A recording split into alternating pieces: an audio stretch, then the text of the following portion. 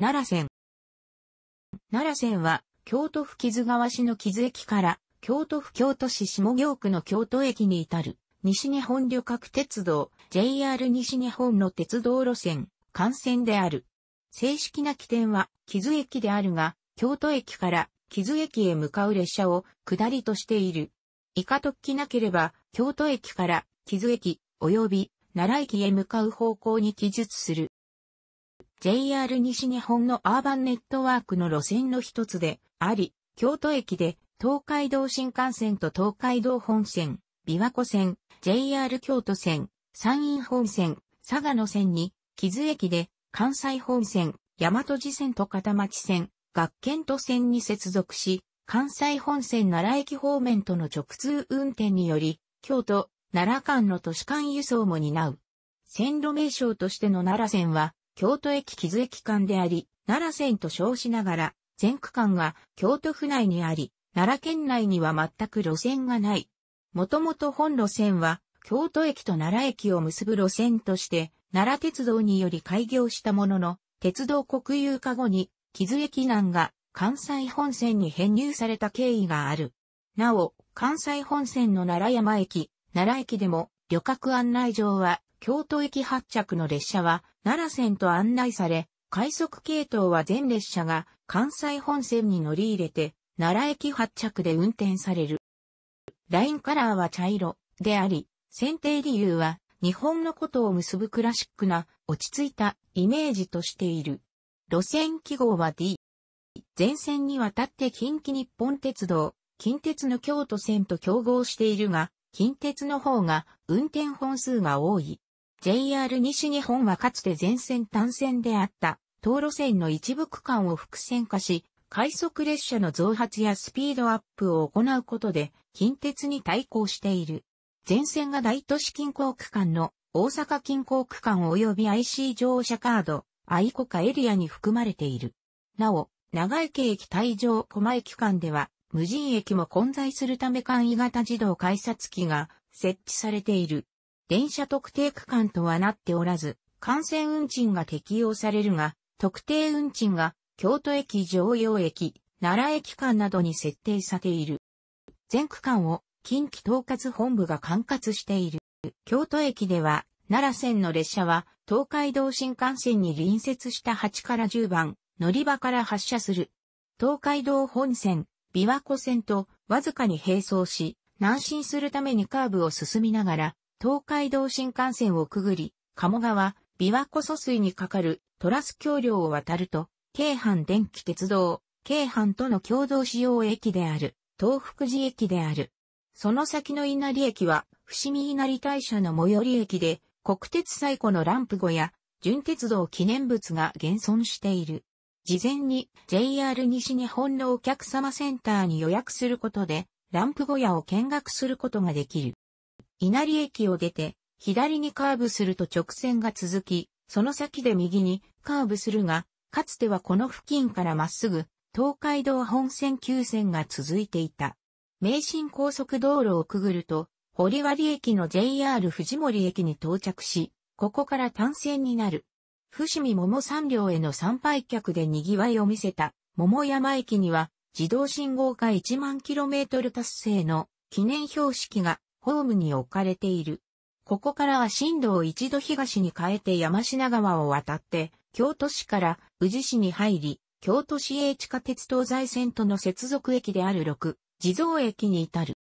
小畑駅、大幕駅と続き、京阪宇治線と並走するが、ほどなくして分かれて、刑事バイパスを越え、京阪宇治駅が右手に見えると宇治川を渡り、宇治駅に到着する。宇治駅では改良工事により、上下ともに環球接続ができるようになり、一部は京都方面から折り返して運転している。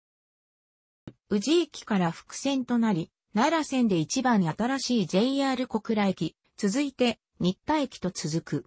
新田駅からは再び単線となり、常用市に入って常用駅に着く。常用駅からは田園地帯が開ける。長池駅周辺は京都へ五里、奈良へ五里の奈良街道の中間地点で、宿場町として栄えていた地域である。長池駅南は、丘陵部から木津川の河谷にできた低地を横断して、木津川に流れ込むため天井川が多く、奈良線でも6つの天井川と交差する。山城青谷駅は、京都府内でも一番を誇る青谷梅林の最寄り駅で、奈良線では最も利用の少ない山城田川駅と続き、快速停車駅である玉水駅に到着する。玉水駅のホームには、1953年8月15日に発生した南山城水害で駅の南東約500メートル、先の玉川から押し流された岩石と記念碑が水難記念としてホームに置かれている。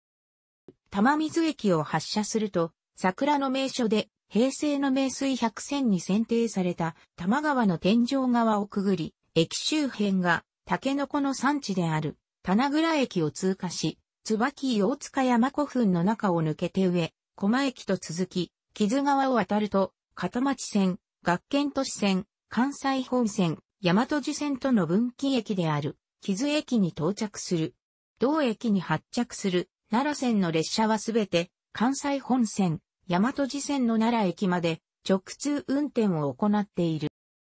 沿線にある京都市の伏見稲荷、大社、宇治市の平等院などへの観光や常用市など、京都府南部地域からの通勤、通学路線としての性格が強くなっている。しかし、桃山駅日体期間は東側に大きく迂回する線形であり、これは奈良鉄道敷設当時、この一帯にあった小倉池の周囲を迂回したためである。また、常用以南は町の中心部から外れた場所を走り、JR 西日本発足後に一部区間の複線化や快速の増発などの輸送改善が図られているものの、並行する近鉄京都線とは、京奈間、地域輸送ともに、まだ格差がある。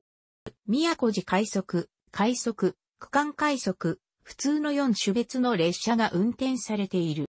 早朝には、大和路線の JR 南波駅から奈良駅までは普通として各駅に停車し、奈良線には快速、もしくは区間快速として京都駅まで乗り入れる片乗り入れ直通列車がある。逆のパターンである京都駅から奈良駅を経由して JR 南波駅に乗り入れる列車は年末年始の終夜運転時を除きない。この他にも運用上の都合で朝や夕方以降に大和路線王子方面と直通する列車がある。前述の早朝に JR 南波駅から直通する奈良駅まで普通として運転される列車のみ、JR 南波、王子方面からの直通列車として時刻表に掲載されている2004年3月13日改正前の時刻表には掲載されていなかった。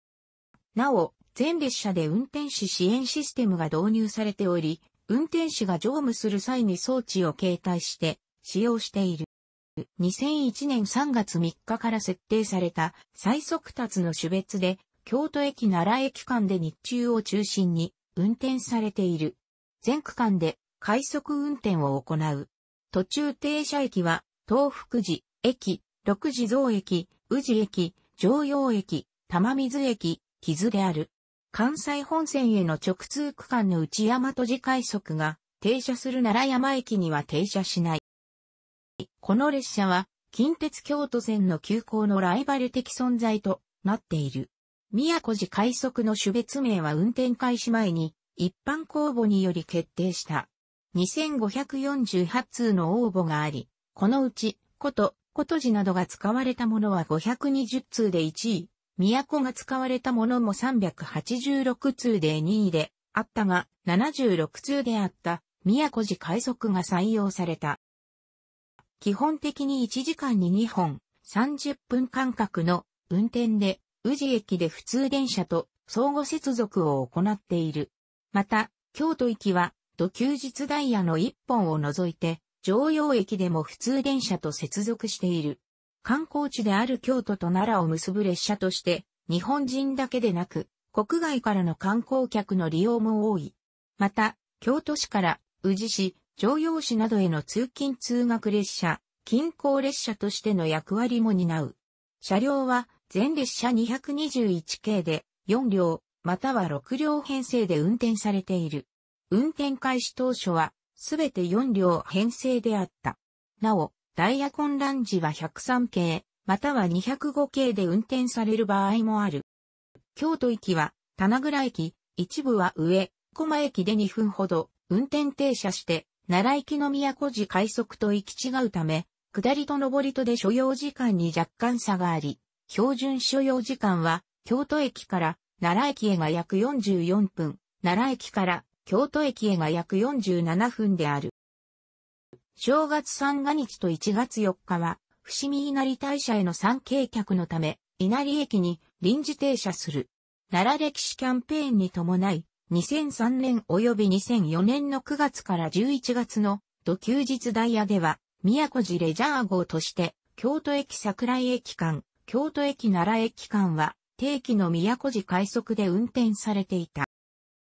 朝夕ラッシュ時に運転されており、朝ラッシュは上りのみ2本、夕ラッシュは下りが30分に1本上りが1時間に1本の運転。京都駅奈良駅間の途中停車駅は、東福寺駅、六地蔵駅、宇治駅、JR 小倉駅、新田駅、常陽駅、玉水駅、木津駅で、全区間で快速運転を行うが、宮古寺快速が通過する JR 小倉駅、新田駅にも停車し、前述の宮古寺快速と同様に、大和路線の快速が停車する奈良山駅は通過する。上下ともすべての列車が宇治駅で普通と緩急接続を行う。車両は全列車221系で運転され、4両、または6両編成で運転されている。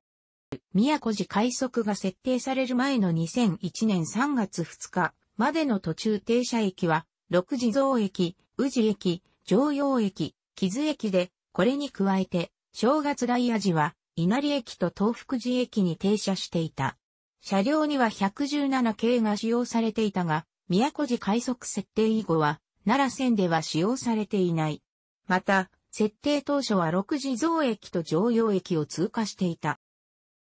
京都駅宇治駅間でのみ、快速運転を行い、東福寺駅、六地蔵駅と宇治駅奈良駅間の各駅に停車する。朝夕を中心に、すべて221系の4両、または6両で運転されているが、かつては103系での運用もあった。当初は平日ダイヤのみだったが、2006年3月18日のダイヤ改正から、土休日ダイヤにも運転されるようになった。基本的に途中駅で普通を追い抜くことはないが、京都行きの上りは、全列車宇治駅で普通電車と接続する。奈良線の区間快速は、大和路線の区間快速との誤乗防止を図るため、ラインカラーが入った種別幕が使用されている。種別幕の区間快速の文字色についても大和路線の緑色とは異なり橙色となっている。2008年3月15日から10月17日までの期間は221系用に新調された種別幕では奈良線区間快速用の表示が用意されておらず、大和路線同様の緑ラインカラー、緑文字の区間快速表示で運行れていた。全区間で各駅に停車し、基本的に京都駅常用駅、奈良駅間で運転されている。日中時間帯は1時間に4本、常用駅奈良駅間は2本が運転されている。朝夕ラッシュ時には、京都駅宇治駅間でも運転されている。過去には、桜井線との直通列車もあり、1992年頃には、土曜、休日を中心に、桜井線への直通列車が定期快速を延長する形で、天理駅まで一時に1本運転されていたが、1994年9月4日のダイヤ改正で奈良線と桜井線は系統分割された。車両は基本的に103系、205系電車の4両編成で運転されるが、折り返し快速、区間快速になる列車など一部の列車は221系で運転されている。2011年3月12日のダイヤ改正で、平日の221系による運用が大幅に増えた。103系の配車信号に伴い行われた2016年10月の運用変更で、平日と休日とも全体の約3分の1が221系で運用されている。基本的に京都駅奈良駅間直通列車が宇治駅で宮古寺快速もしくは快速の接続待ちを行い、京都駅常用駅間の区間列車が全区間先着するダイヤになっているが、朝晩には京都駅奈良駅間直通列車でも全区間先着する列車がある。また、常用始発の上り1本は、宇治駅で後発の区間快速の接続待ちを行う。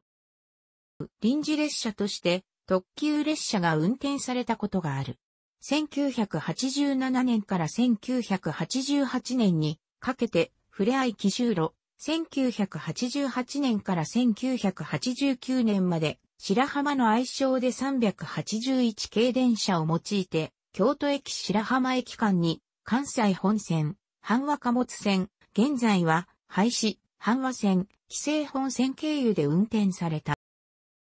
1998年1月6日には、奈良線の一部区間が複線化される2001年を、めどに、定期列車として特急が運転されると報じられたこともあり、485系、または381系を単編成に改造した3両編成で、日中に1時間1本設定され、途中の宇治駅のみに停車するか、ノンストップ化にするかは検討中としていたが、この計画は中止され、その後特急列車の運転は行われていない。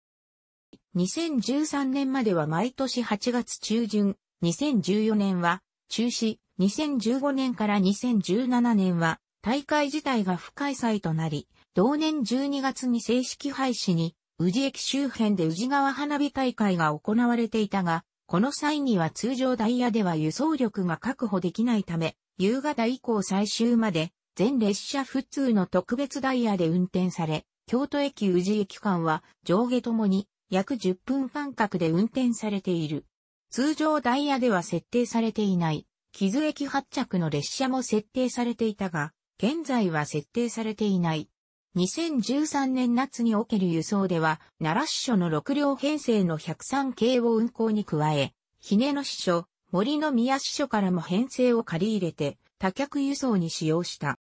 沿線には、東福寺や伏見稲荷大社といった大きな社寺があるため、大晦日深夜から元旦にかけて奈良線では、京都駅常用駅間において普通のみ、約30から60分間隔で、終夜運転が実施されている。かつては全線で、終夜運転が実施されており、1999年度までは、京都駅から先、大阪方面とも直通運転を行い、西明石駅大阪駅京都駅木津駅、奈良駅間で普通のみ30分間隔で運転されていた。その後は、常用駅奈良駅間においては普通のみ、約60分間隔で運転され、京都発奈良線、大和路線経由 JR 南波行き、大和路線内は定期列車が1本設定されたこともあった2017年度が、同区間の終夜運転は2017年度をもって取り留めとなった。かつては正月三が日は臨時ダイヤとなり、快速が京都駅宇治駅間隔駅に停車するほか、宇治駅までは本数を増やして運転されていた。年によっては、桃山駅折り返し列車の設定もあった。2003年正月期頃までは日中を中心に、正月特別ダイヤを組んでいた。当時は、宮古寺快速は、稲荷駅のほか東福寺駅にも臨時停車していたが、現在は、正月三が日と1月4日に稲荷駅に宮古寺快速が臨時停車するのみとなっている。東福寺駅が紅葉の名所である東福寺の最寄り駅であること。さらに東福寺駅から京阪本線への乗り換え利用客が増加していることから2009年以降11月下旬の土日祝日に京都駅桃山駅間の臨時普通列車が設定されることがあった2012年は11月23から25日の午後に3往復設定が、2017年より伏線化工事の一環として、桃山駅構内の工事が開始されたことにより、2017年以降は設定されなくなった。奈良線には日本各地からの団体臨時列車が乗り入れることがある。毎年5月上旬から6月下旬にかけて姫路市の小学校が利用している修学旅行列車が姫路駅などから奈良駅まで運転されており、この列車にはキハ189系機動車が使用されている。2010年度までは、キハ181系機動車が使用されており、同列車の老朽化に伴って2010年度を最後に運転を終了するとしていた。また、天理教の行事で特に7月下旬から8月上旬にかけての子供おじ場が、エリア10月26日の大祭時には、天理林と呼ばれる列車が天理駅まで運転されている。関東地方からの列車については183系、189系電車により運転されていたが、2011年1月を最後に運転を終了している。かつては DD51 牽引の客車列車12系や14系座席車などで運転される子が多かった。1997年9月11日に JR 京都駅ビルのグランドオープンを記念した奈良からの臨時列車に223系線番台が使用されたことがある。すべて吹田総合車両所に所属し、奈良市所に配置されている3、扉車の221系及び4、扉車の103系、205系電車が使用されている。編成は4両が基本となっているが、221系には一部6両編成も存在する。1994年9月4日から2001年3月2日まで、6両編成の103系が朝ラッシュ時に運用されていた。快速列車は全列車が221系で運転されている。普通列車は103系での運用が中心であるが、近年221系での運用が増えてきており、2018年3月17日のダイヤ改正からは吹田総合車両所ひねの支所ら転属した205系が営業運転を開始している。機動車や機動車導入前は定期旅客列車にも客車が使用されていた。旅客列車に使用された機動車は以下の通り。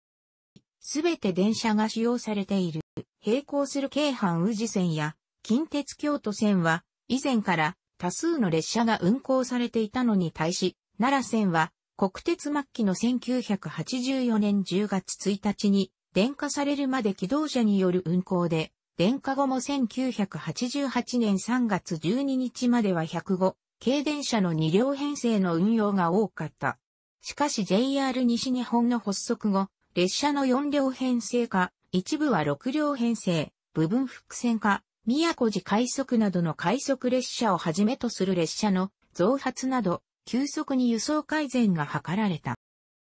1994年12月に京都府の公共交通網整備研究会鉄道部会は奈良線の活性化策として高速化、複線化のほか、宇治駅新田駅間に新駅設置や宇治駅の自由通路を設けた、橋上化などの改良などが盛り込まれた提言を知事に答申し、これを受けた京都府は JR 西日本などの関係機関との協議を開始した。折しも 2002FIFA ワールドカップに向けて、常用市、富野地区でサッカースタジアム、京都スタームを中心とする木津川右岸スタジアム公園建設の基本計画も決定しており、奈良線の利便性の向上は大きく望まれていた。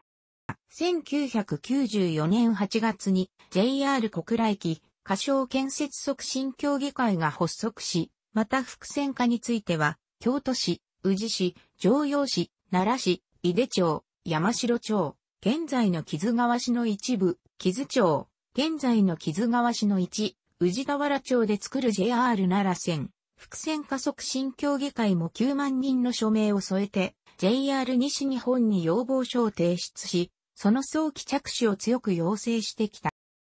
しかし、1995年に発生した阪神、淡路大震災により JR 西日本も大きな被害を受け、また株式上場を控えており奈良線の輸送改善について心配されていたが、JR 西日本は京都府の要望通り段階的に整備を行うと回答し、整備計画は全区間の複線化を将来の目標としながらも次の4期に分けて工事を進めることになり、2001年の完成を目指して1998年1月に着工を開始した。工事費は162.6億円で JR 西日本と沿線自治体で折半した。これに先立って長年地元から要望があった稲荷駅、桃山駅間に新駅設置工事が行われ、1997年3月に JR 藤森駅が開業した。一連の輸送改善は当初の計画通りに進み、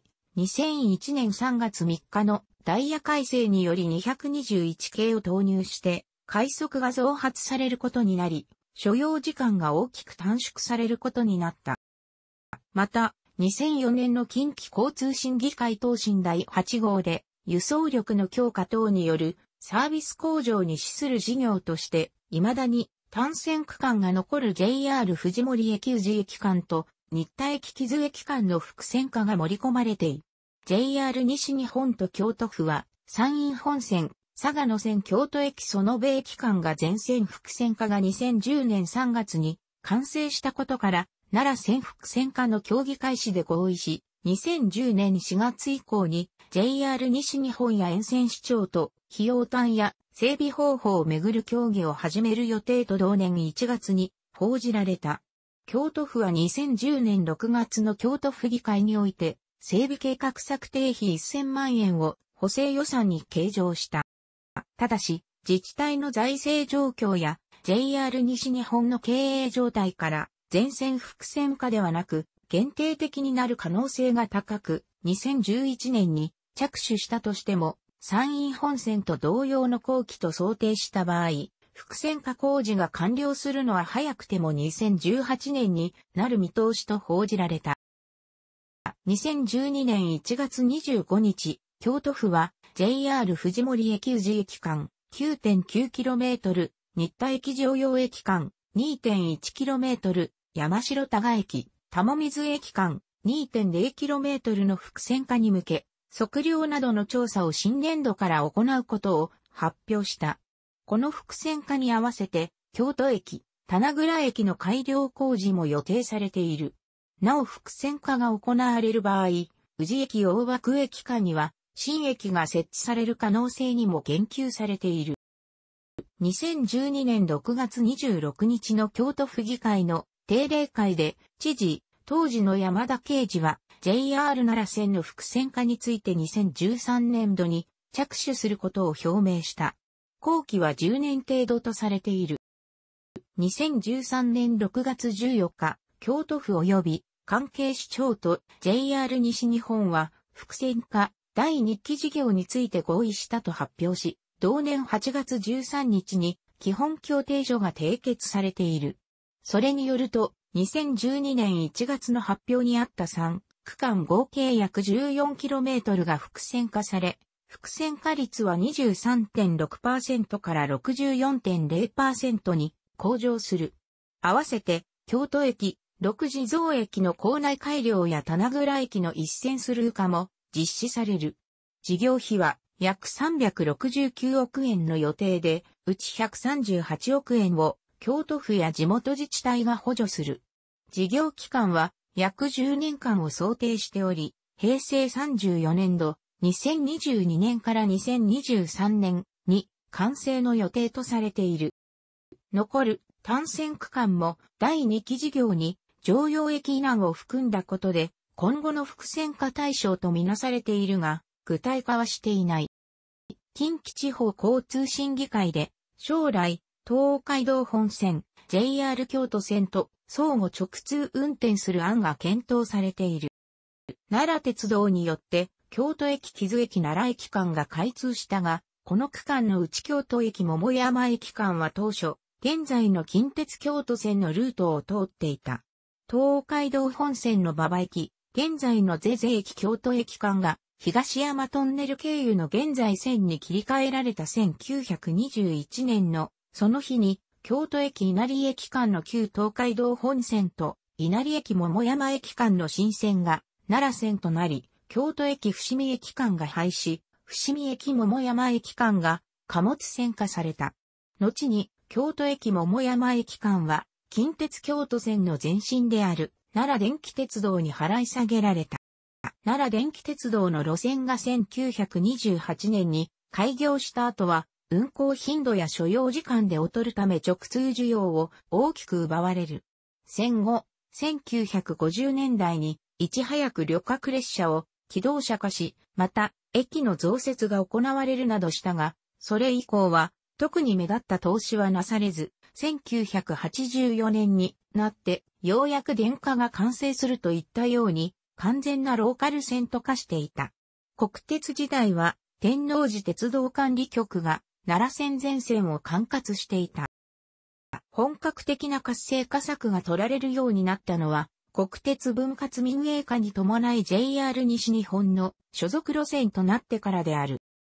JR 西日本の奈良線に対する投資を報じた1991年の朝日新聞記事には、投資の背景として、前年の即位の例の一連の行事で、関西を訪問された天皇皇后両陛下は、JR 東海の東海道新幹線で京都駅に着くと、そのまま近鉄で奈良方面へ向かわれ、地元 JR 西日本の列車は全く利用されなかった。こんな屈辱感や関西文化学術研究都市の開発などで沿線人口が増えていることが JR 西日本の投資意欲を駆り立てているようだとの記述が見られる。しかし、その後も後続の奈良方面への移動には主に近鉄が利用されており、東路線の利用は実現していない。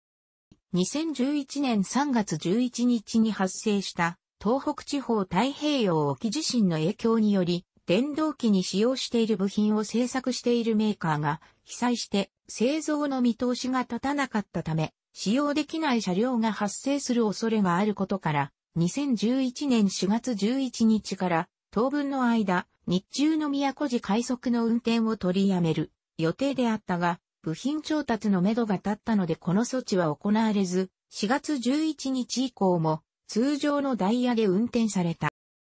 括弧内は京都駅起点の営業キロ、京都駅0.00から八条仮信号所0.80、当時仮停車場1.13、伏見駅5.31、桃山駅7.08。楽しくご覧になりましたら、購読と良いです。クリックしてください。